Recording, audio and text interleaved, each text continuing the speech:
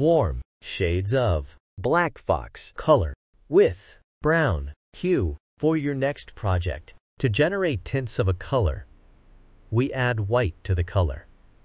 And tints creates light and exquisite emotions. To generate shades of a color, we add black to the color, and it is used in patterns. 3D effects, layers and shades create depth and drama. Black fox is a warm color, and it emits cozier and active emotion.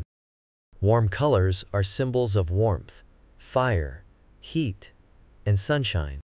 It also evokes joy, passion, love, and even anger emotions. You can see them used in restaurants and gyms.